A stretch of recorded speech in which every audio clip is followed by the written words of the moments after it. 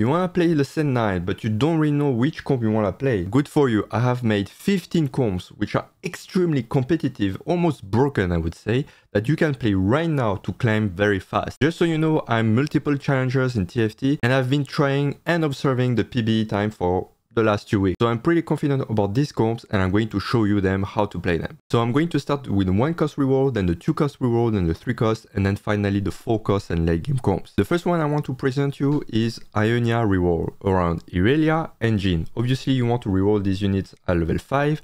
Once you find them, you can push your level to level 6, 7 and 8 to find all the Ionia units that you want. Your main tank will be Irelia obviously and Jhin your main carry. Don't forget that Sejuani is an extremely valuable unit you want to add in order to have a good amount of CC but also to activate Freljord so Jhin doesn't need to have Shred because Freljord will do it for you. Also a reminder that I started a newsletter which is completely free where every week I will send to your mailbox the best comps of the meta that you want to play if you want to climb fast. So just subscribe, make sure that if you do it, you check your junk box that way you can find the emails and I started this week and I'm going to continue every week. On to the next comp which is Rogue Reroll. This time is around Viego, Maokai and Poppy. Poppy is not mandatory to find 3 stars but Maokai and Viego are definitely important. Once you find them at level 5 you play around 4 rogues as soon as possible and then at level 7 you can add Gwen and at level 8 you can add Senna to activate the 4 Shadow Eye. Make sure to have your rogues the most important ones on the side. That way, when they go below uh, 40 HP or something like this, 40% of HP, they will dash into the backline and assassinate the squishy units. On another note, I really love RFC on Viego, but if you can't find RFC, you can have something like QSS or any other uh, item that can help him either deal more damage or survive longer, or have more attack speed. So now let's go to the two cost reroll. We want to play around Rogue again, since we were on Rogue. Zed will be your main carry in this composition. You have Echo, Viego, Katarina, the same as usual, and then as many Slayers as possible. Again, here, you want to have all your rogues at the front line. You want them to actually lose a lot of HP fast, so they, run uh, towards the squishy units and then kill them. Zed, you want to have as many damage as possible with IE, and also a bit of sustain. You, I know with Slayer you have some sustain, but this is not enough. So Hush is actually a good way to have more damage with the crit percent chance, but also sustain, and QSS, which is extremely good because it also gives critical stri uh, strike chance and gives a bit of defense to Z. But if you don't have the, this, you can have something like Runaan, uh, Titans, they are very good. Then once you have them at level 6, because these are I forgot to put here, but these are two cost reroll. You mostly want Zed, and then after you want to push level 7 to have Gwen, and then level 8 to have Aatrox. Now for the two cost reroll, let's go with Yordles. So in case you don't know, Yordles allows you to have 4 star units, only if you have enough 3 star units on your board. This is why you want to 3 star Poppy, Tristana and Teemo. Uh, Tristana is completely useless, but you just want her to activate Yordle and have another 3 star unit. So your Teemo will have 4 star. And then after at level 8, if you manage to find Heimerdinger, you will have two units at 4 star which, uh, who will be Poppy and Teemo. Since you have 3 Demacia, make sure you don't put more than 2 items on Poppy, so she will have the Radiant item from Demacia. And then after on Teemo, you just want Blue Buff, Archangel, Gunblade, um, and he will do a lot, a lot of damage, and he will sustain your whole front line for a very long time. Now, if we continue with Slayers, it's kind of similar, but it's around Kled and Yordle.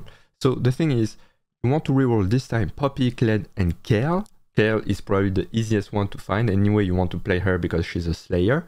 And you want to activate your Kled as fast as possible. Again, don't put more than 2 items on Poppy. She will get the Dam Demacia buff.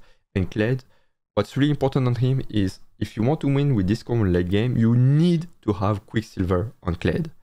And this is extremely important because if you don't, you will see that he will mostly do nothing and die because um, he'll be the, most of the time like being CC'd.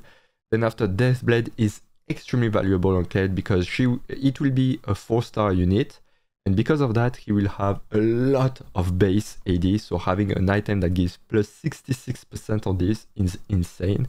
And then finally you can have something like Titan's Resolve um, which is an excellent item because he will give him a bit of defense and he needs that.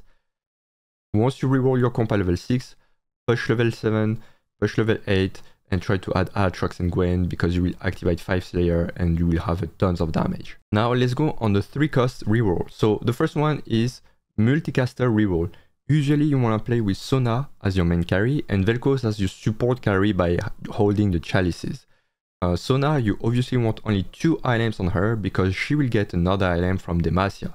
Also, this is why you don't want to put too many items on Jarvan, so either zero item or one item on or three items, but never two because you might have Jarvan taking the Radiant item. Your main tank will be Shen. It's an extremely valuable unit and it fits very well because it unlocks Invoker to have even more mana for your Sona. By the way, I put Gunblade, but honestly, uh, if you prefer, if you want to have more casts, you should actually go with Shojin because anyway, so now we have an excellent Radiant item that will help her dealing more damage. Now let's talk about Noxus. Noxus is an extremely snowball comp, meaning that if you don't win your first fight with Noxus, don't try to play this comp. You need to snowball to activate um, some bonuses based on the amount of victor, uh, victory, so 70% of this. So for this, you want to play on your three costs, Katarina and Darius. You want to reroll them at level 7. You want to play with 6 Noxus at level 7. And then once you find them 3 stars, you want to add more and more useful units such as Sion, Aatrox, very late game units but very powerful, and level 9 Ryze. So basically, if you don't have, uh, if you're level 7, you don't have Sion, you have Cassiopeia, and you don't have Aatrox and Ryze. And then after you can push level 9 and snowball the fights like this. Alright, let's continue with the 3 costs reroll, and this time we want to talk about Rek'Sai. Rek'Sai is an excellent AD carry, it's insane how good he can be you want to play with four bruisers. Then after you want to activate good synergies around him. So you have Freljord and Void. For this one, it's actually difficult to play if you don't have TF as your legend because having some Zeke's help a lot. And Sion also like the attack speed from Zeke's because he can punch very, very hard. Let's continue with the Void, but this time with Vel'Koz as your main carry for Sorcerer, not Multicaster, but Sorcerer. You still have two Multicaster. Shen will be obviously your main tank. Soraka will be here to support Vel'Koz and also add uh, Invoker with Shen and Targon with Taric. This comp is very well rounded, so you simply need to reroll level 7 and then after you can push level 8 to add Kassadin or anything else actually you can add Bel'Veth. I think it's even better than Kassadin. Uh, if you can find her. Alright, let's go on Karma reroll with 4 Invokers and 3 Ionia. Again, extremely tanky frontline with Shen, Sejuani, Lissandra. I didn't put the frontline items, but just put on whoever is 2 star first. And then after you want to play around Karma with Blue Buff, Gunblade, Archangel, and some uh, ice creams here to boost her even more. This comp is extremely powerful. You can try Lissandra 3, but um, in my opinion, she will be extremely, extremely contested, so it might never happen. So maybe you just play with your stars. If you find Lissandra 3 perfect, Put a Morello should deal a lot of damage already. Now let's go with the four cost units. The first one I want to talk about is Aphelios. This unit is deadly if you manage to have a good team around him. And the good team around him, and you will see that very very often, is Shen, Sejuani. Usually it's with Lissandra to activate Invoker, but here it's an exception because you already have Ashe and Soraka that activates Deadeye and Targon. So you have even better team that way, you have very great synergies here the Deadeye are absolutely deadly and your team will most likely win a lot of fights. This is a fast 8 comp, so be sure that you have a strong early game and mid game to be able to push level 8 and have enough gold to find these units. If we continue with the AD carries, we find the same frontline, Shen, Sejuani, Lissandra, Sion. This is like insane frontline for late game. You can fit so many comps with this, uh, this frontline. And then behind you want, instead of 4 Deadeye, you want 4 Gunners and Zeri will have extremely powerful late game damage if you manage to have a Jace plus Ziggs plus Senna who also buff the attack speed so she can like be extremely deadly during her ability uh, that lasts 5 seconds, something like this, and she can deal a lot of damage on, on a lot of people. Alright, let's change a bit the front line here and we want to play around Azir. So Azir you have two ways of playing, either around Shurima, like 7 Shurima or 9 if you can push 9 but it's it's kind of difficult to achieve this or with 4 strategists. Since 7 Shurima is nerfed from the PBE, I assume that the 4 strategists will be stronger than the 7 Shurima because you have only excellent units such as Swain, Jarvan, Azir of course, Teemo, that removes healing with Taliyah and multicasters. And then after your main carry is obviously Azir, but actually don't underestimate Nasus. He can be a great tank as well as an excellent AD carry. Worst case scenario, if you have defensive items, put them on Nasus and put the offensive AD items on Aatrox. And then we have another comp which is less popular because I think people know this comp a bit less, but extremely powerful as well, is 4 Challenger and 4 Juggernauts. So your AP carry will be Kai'Sa, your AD carry will be Yasuo, and then after you want to play 4 Juggernauts.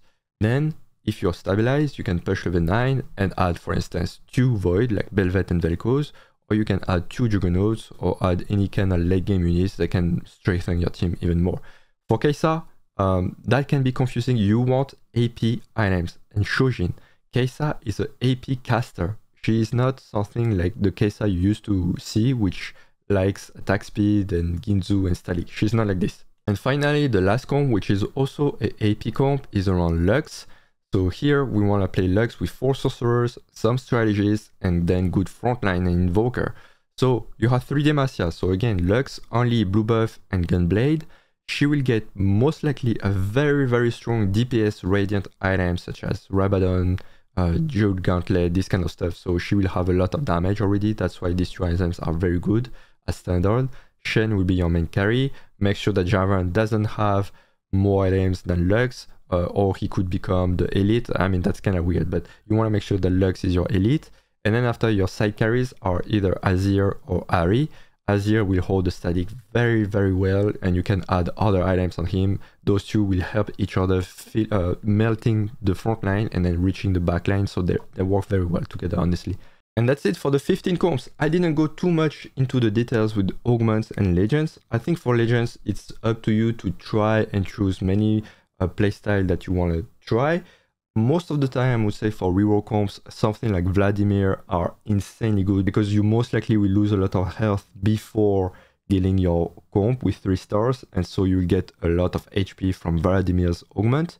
And then after you have obviously Twisted Fate that allows you to stack the Zeke's or the Chalices for some of these comps, but most of them are pretty balanced, I think. Um, and honestly, we don't have enough games, we don't have enough knowledge about the new set to be able to tell exactly which Legion are the best. With that being said, if this comp seems too complicated for you to play because you're a beginner or you didn't play TFT for a very long time and you just came back, then I have a video made for you because I talk about 5 beginner comps which is extremely easy to play and will help you learn a lot about TFT while having fun and also climbing the ladder, or at least win in normal game. It is appearing here, and until the next video, see you at the top of the ladder.